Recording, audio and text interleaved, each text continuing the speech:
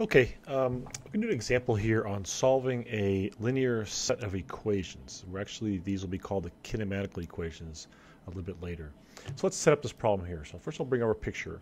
What we have is a pretty common, a typical problem where we have a car that's driving along.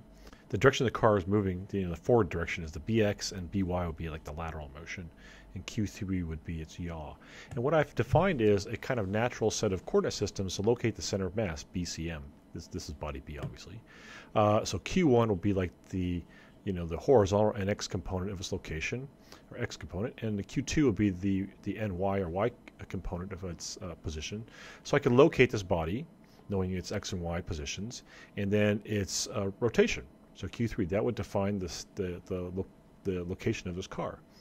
Um, and from a, a mathematical standpoint, it makes a lot of sense to do that. Uh, however, from an experimentalist state stamp standpoint, uh, it doesn't make much sense because those actually kind of kind of hard to measure. More likely, I would be able to measure, for example, the uh, the longitudinal velocity, which would be the velocity in the bx direction. That's what my speedometer would read, for example. And I could also measure its lateral velocity and its yaw rate using like a gyro or something. So we have this compat this this incompatible uh, set of equations. Like, for example, I would have two sets of equations. One would be the velocity BCM in the nx and y coordinate system, and the other one would be the velocity BCM in the bx and by, or the body coordinate system. Um, these two are obviously the same thing, the velocity of BCM in the Newtonian reference frame, but they're expressed in different bases. Okay, so I'm going to set this up. Uh, so I got a rigid, rigid uh, Newtonian from N, rigid body B, uh, the variables Q1, Q1 prime, Q2, Q prime, Q2 prime, Q3, and Q3 prime.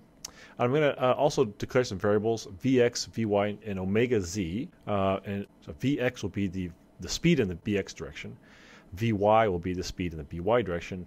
And omega z will be the, the angular speed about the Bz axis. Okay, so I'm going to set this up first using the, the regular uh, nx and y components. So b rotates z, so b rotates about the z-axis uh, relative to n amount q3, that's just shown here.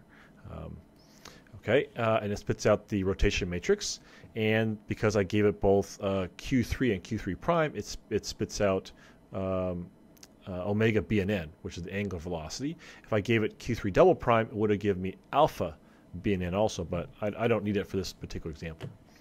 Okay, so what else we got going on here? So I go and set the velocity, as we said before. I'm just using this upper definition here. So I said the velocity of BCM equals q1 dot nx plus q2 dot ny. That's by observation. I can see this. This is q1 dot in the nx direction and q2 dot in the ny direction. That's just by observation. Okay, so I go ahead and set the velocity, and it spits back the velocity BCM and n uh, equals q1 dot nx plus q2 dot ny. Okay, just like we expect.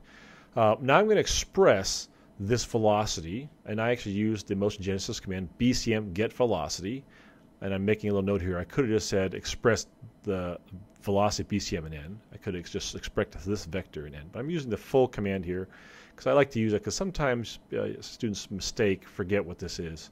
And so I like to use the BCM get velocity in n. It's a long expression, but you don't need to make any mistakes. Okay, when I express this, this vector in b, which is basically what this I did here right? I expressed this vector, right, which I just defined, I expressed it in B.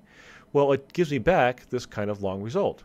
It says, hey, you know, uh, this, this answer is, I, I didn't set it equal to anything, I just asked it for it. So I didn't say something equals express, I just expressed it. And it says, uh, sine q3 q2 dot plus plus a bunch of stuff. It's got a bunch of stuff times bx and a bunch of stuff times by. Hmm. That's not really what I really want. I can see that Vx equals all this stuff, all the measure number here for Bx, and Vy is all this stuff here. Right? I can see that's the case. Um, but I want to get motion genesis to tell me that. Okay? Uh, and the same thing here. I say express uh, the angular velocity of B and N uh, in B. And of course, it just tells me Q3 dot equals BZ. So I can see that omega Z will equal B will equal Q3 dot. That's not a problem. All right, so what I'm going to do is I'm going to define some new vectors here. V, B, C, M, and N. Now, it knows that the velocity of this, this expression, velocity underscore BCM underscore N, it knows that's the velocity of BC, uh, the velocity of the center mass of B. This vector here, I'm making it look like that because I need another description. Right? I can't use that same vector because I already used it once, so I'm just making another vector that looks very similar. I just took out the underscores. I think I set these two things equal to each other. So here we go. So I, this is the second one here. Velocity of BC m and n equals vx times bx plus vy times by. So that's the definition. It, it, returns, okay, I got the definition. And I'll say omega b and n equals omega z b z. Okay. All right. So now I've got, it knows this one, right? It's got it here in line 16, and it's got now this, this lower expression in line 20 here. So it's got both expressions. I just need to set them equal to each other, okay?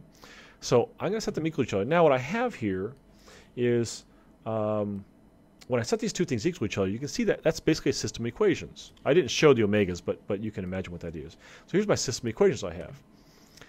I ha have Vx equals, and I can tell this, right? So I look up back here, and I say that uh, Vx equals sine Q3 times Q2 dot, that's the sine Q3 times Q2 dot, right? Plus cosine Q3 Q1 dot, cosine Q3 Q1 dot, right? That's the first term there. And I can see that Vy equals cosine Q3 times Q2 dot, cosine Q3 times Q2 dot, and my, negative sine Q3 Q1 dot, negative sine Q3 Q1 dot. And I can see that omega z equals Q3 dot. So what I have is a system of equations which is great. I can see that by observation. But it turns out that what I really want is the inverse to the system equations. This is Vx, Vy, v omega z in terms of Q1 dot, Q2 dot, Q3 dot. I know what that is. Really what I want is the inverse of that. And so I'm going to ask motion genesis to invert those equations. And so, so I set this equation up, and I'm making a system equations. So I say dot this vector here minus BCM, right? So if I take, so these two equations are supposed to be equal to each other. So also if I take one minus the other, you'll get zero, right? That's why I called it zero. So I'm taking this equation here, subtracting my first upper equation here, and I should get zero. And I'm just dotting with bx to get one component of it. And I'll do the same thing with dot by and the same thing with dot bz. And I'll get three equations that are all supposed to be equal to zero. A system of three equations equal to zero. And I'm going to ask motion genesis to solve those. So I go in here and say, here the system of three equations. Solve this system equations. Zero is my system equations for q1 dot, q2 dot, q3 dot. So I've told it this set of equations, and I'm saying solve this set of equations for q1 dot, q2 dot, q3 dot. And it goes ahead and spits it out here. And what it gets back is this. It says q1 dot equals Vx times cosine Q3, Vx times cosine Q3, minus Vy sine Q3, minus Vy sine Q3, right? And et cetera, et cetera. And of course, we knew this because if you look at this equation, my, our original set of equations, this looks just like a rotation matrix. And we know from what we've learned so far that to invert a rotation matrix, all we have to do is take the, the transpose, right? We can invert a rotation matrix in under five seconds. So here we go. I'll invert this equation. Bingo, right? I could would have gotten this one. So it gives us what we expected. Of course, that's what we're trying to do as an example. We're trying to do something that we know what the answer is, so we can have a little faith that it's doing that we're doing it correctly. And so we've taken the system equations, Vx, Vy, Vz equals this stuff, and I've inverted it. Now I know that Q1 dot equals, Q2 dot equals, and Q3 dot equals. Now, just to show, here I dotted with Bx, By, Bz, just to show it doesn't matter what reference frame I used. I just need a system of three independent equations. I have these equations, I set them equal to each other, I dotted bx, by, bz. Well, I could have dotted with nx, ny, nz, right? That's the same three, same same system of equations. And so I'm just showing you here that doesn't make a difference. So I take this this uh, upper one or lower one, so velocity of bcm, bcm in n, minus this upper one, and now I dot with nx. And notice here I got a little uh, lazy and I did the velocity of BCM and N versus up here I said BCM get velocity and N. So this is obviously longer to write, but sometimes, again, sometimes students mix up uh, the order that these go in. And so I'd like to use this one, but sometimes I get lazy and I do it. So here we go. So that's the subtraction nx, the difference ny, and the difference nz. Again, dotting it. And I say solve again. Here I call them zero twos because that's zero. I call it zero two. So mean another system of equations. And I want to solve for q1 dot, q2 dot, q3 dot. And it says, hey, wait a minute, I already did that. Do you want me to write it? I said yes. And you can go ahead and see that you get the exact same answer. q1 dot equals vx cosine q3. Right? You get the exact same. So 44, 45, and 46 are the same as 31, 32, and 33, which they should be.